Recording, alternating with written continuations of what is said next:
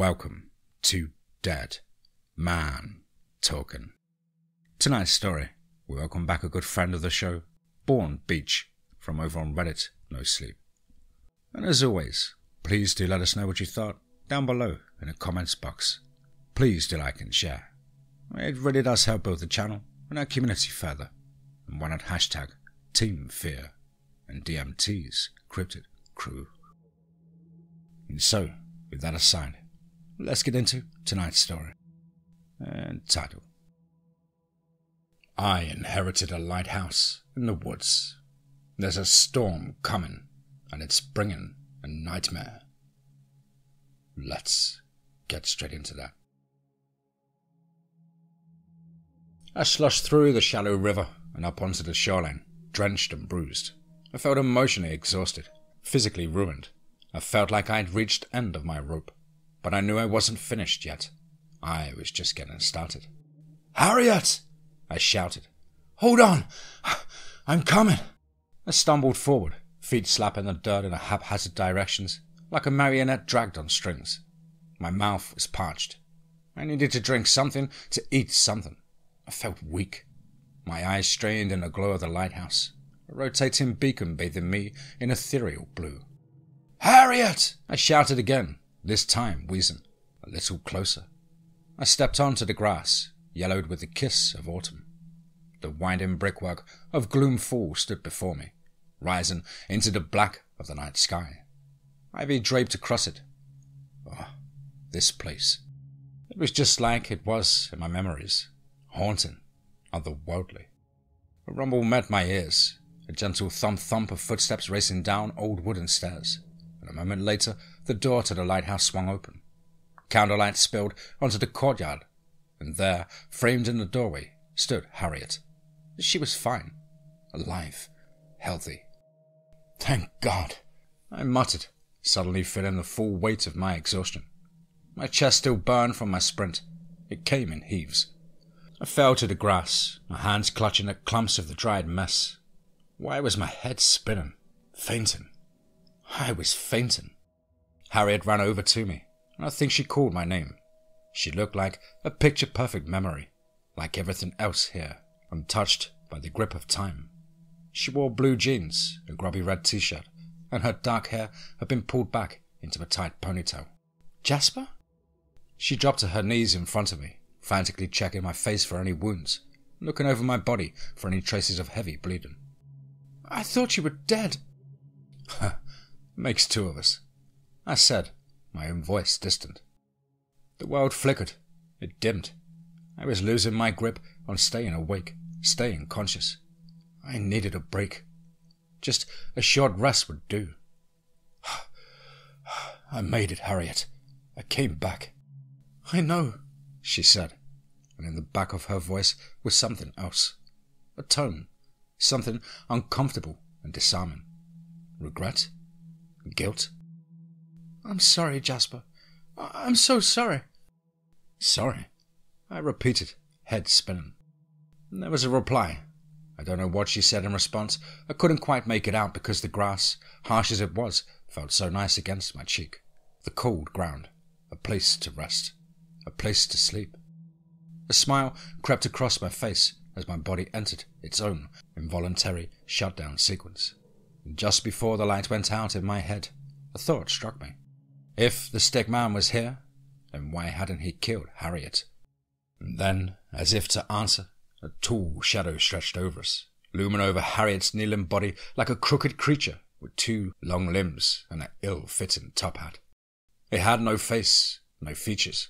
It tilted its head towards me, and a voice rang out in my mind. The last voice I heard before my world faded to black. Finally, we can begin. You're up. Harriet stood over me, a warm rag in her hand. She pressed it into my forehead. Ugh, what happened? I muttered, blinking. It looked like we were inside the family cottage, a stout wooden cabin that sat atop a hill beside the lighthouse. The stickman is here. Harriet finished for me. Always. Uh, here? I shook my head, mind still trying to catch up to the situation. I glanced around. I couldn't see anything beside the softly crackling stove in a corner of the room. My old childhood bedroom. Where? Outside, she said, lips pulled into a tight frown. Stand and watch. For what? For her. Harriet spoke the words with an edge, a sort of bitterness I didn't remember her having. She looked stressed. Her blue eyes, normally bright, were dull and grey. The decrepit one? I asked, wondering if she was referring to the hag that roamed the phantom wood. We'd long known she had ambitions for Gloomfall. She wanted to take the lighthouse for herself, though for what end, none of us knew. And Harriet placed her hands on her hips. Questions? Really? You've got about a dozen different toxins poisoning your bloodstream right now, Jasper.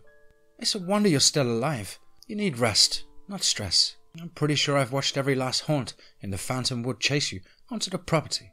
More than a few got a swing at you, too. I winced. That explained the throbbing pain in my side, as well as the awful nightmares I'd had. Oh, my letters of safe passage got blown away, I said sheepishly. you don't say. She dabbed at a wound in my shoulder. Harriet had always been a prodigy when it came to medicine, to alchemy, to potions in general. I'd seen her nurse Dad back from the brink of death more times than I could count. Harry, I said softly, about Dad. The corner of her mouth twitched. She dabbed the ointment more forcefully into my shoulder, and I clenched my jaw against the alcohol sting. Let's not talk about that, okay? Not right now. I nodded.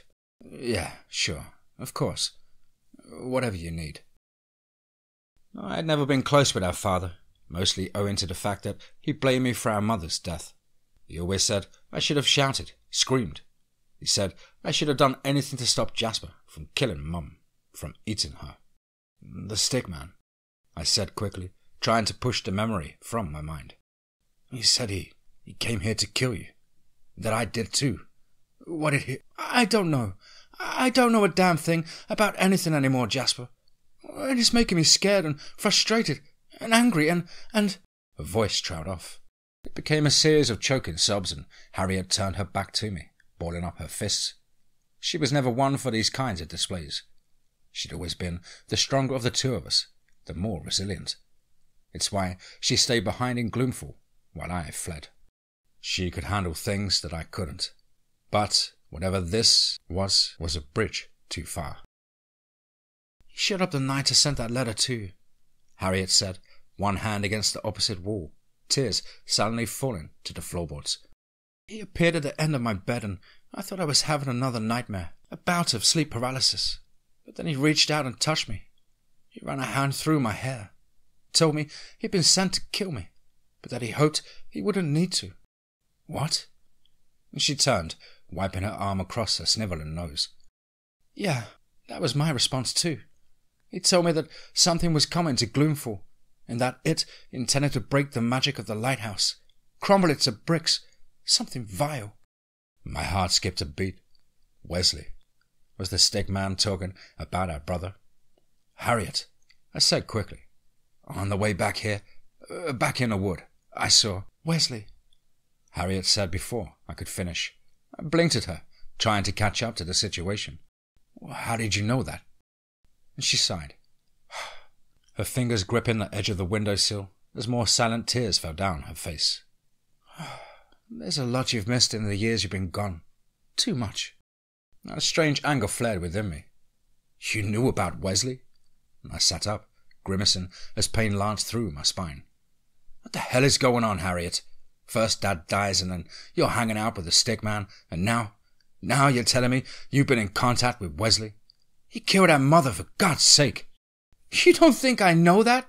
She snapped, meeting my eyes for the first time. You don't think I remember seeing him eat Mom's heart?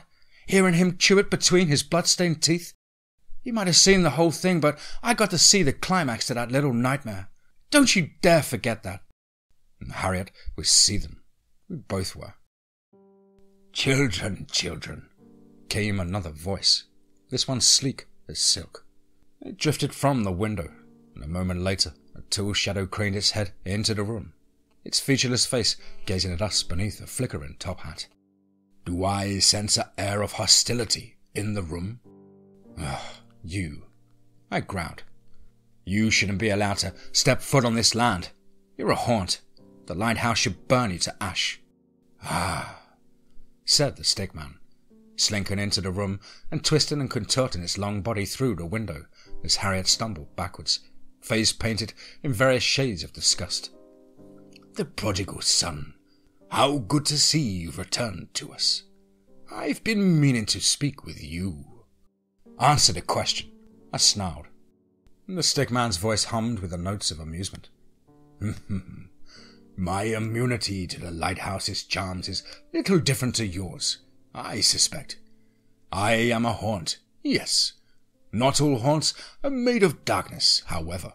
I manifest as a shadow, yes, but I am something more beyond my physical form, as we all are. The lighthouse can see this, even if your eyes cannot. You'll excuse me if I don't buy it, I said. You told me I'd kill my sister. And indeed you will. Or you will if I do not kill dear Harriet first. I reached towards the stickman, reached to throttle him, but my hands passed through him, and instead I fell onto the floor with a painful crash. Jasper, Harriet said, rushing to my side. Have you lost your mind? I said you needed to rest. I'm here because you told me to come, I shouted, my temper having completely divorced itself from my better sense. I nearly got myself killed in that fucking forest because you asked me to come home, and now I'm here and you're treating me like I'm a nuisance. Listening to this thing? The ground shook. Harriet rose to her feet, leaving me there wincing on the floor. I'm not listening to anybody. Did you even hear what I said to you? The whole of Gloomfall has lost its damn mind. Nothing makes sense anymore. The laws are breaking, Jasper. Things aren't working as they're meant to. I've had to deal with that for the last month, while you've. The ground shook once more, this time violently. The cottage groaned. A rush of wind tore through the window, rattling the shutters and extinguishing the candles. Darkness took us. Goose flesh covered my skin. Harriet, I breathed. You okay? I'm fine, she said curtly, though there was an edge of terror in her voice. What is it? she asked, though not to me. It is her, said the stickman. Who? I hissed. You've crossed the path once already, he said. Out there, in the bleak of the wood. She found you. Your brother came to your aid then, though I am certain he was unsuccessful in defeating her. Who is she? She is the storm that shatters, the scion of calamity that will untether the strings that bind this place, the beast in the dark. Look now, do you see it? I struggled to my feet, ignoring the pain rioting through my limbs. I felt blindly in the dark, finding a wall, and then dragging myself up to lean against the window. The shutters slammed furiously, and I squinted into the raging gale. Far away, sitting atop the rolling waves of the phantom wood, swelled a sea of clouds, pulsing with veins of red lightning. My jaw fell open. Harriet appeared at my side, and I could tell from her sharp gasp that this was new to her too. It's growing, she said, frightened. It's larger than before.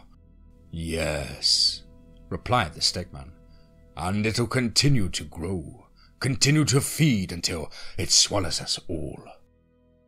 How do we stop it? I croaked. I am uncertain if you can, muttered the stickman. It would require the destruction of the creature that breathes life into that thunder. Your brother tried, and he failed. Wesley tried? I asked. Harriet's fist slammed against the wall.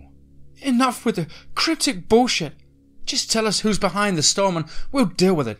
This is what our family does. We kill monsters. Ah, said the stickman.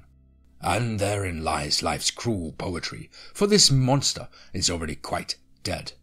As a matter of fact, you buried it yourselves.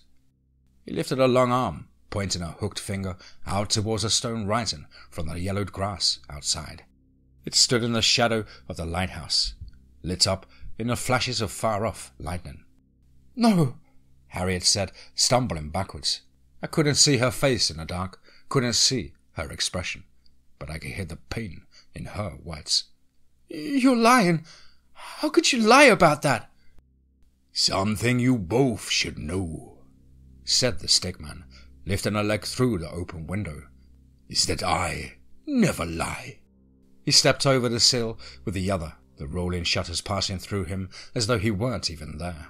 He tipped his top hat. The beast in the dark is a creature you are well familiar with, for she was the one who gave birth to you. Mum? I muttered, gazing at the gravestone in terror.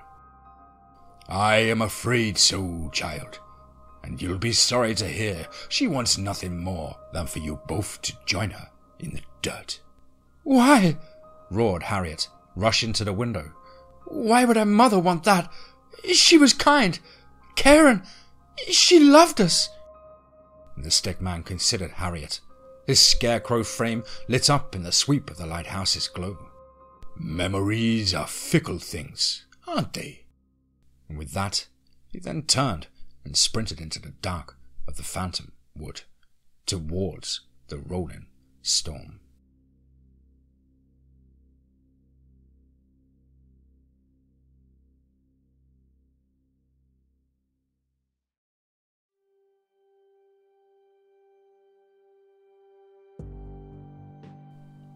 Wow. Wow, wow, wow, wow, wow. Certainly another one. Wow. What an intriguing, chest pounding, and superbly written story there from our good friend Born Beach from over on Reddit, No Sleep. Once again, a big thank you, Born, for allowing me to narrate your work on the show. Each and every time is such a thrilling read with intriguing characters and spine tingling action. Guys and girls, I'll leave a link in the description box below, at which you can grab Born Beach's brand new book, featuring some of his most popular stories, the perfect present for any horror fan. Of course, Born, I hope you enjoyed this rendition and really do look forward to any updates in this incredible series in the future. Well, guys and girls, as ever, you know the drill. Please do let us know what you thought down below in the comments box. Please do like and share. It really does help build the channel and our community further. Why not hashtag Team Fear and DMT's Cryptid Crew. Now, if you can pen a story packing that much punch, then please do get in touch with me at the contact email, which is as on screen. Contact the dead one at gmail.com. I really look forward to hearing from you. I hope you're all fighting fit. Whatever it is that you do, I hope you're surrounded with loved ones and friends, and eating plenty of food and necking back a good few drinks. But above all, remember be safe, not sorry.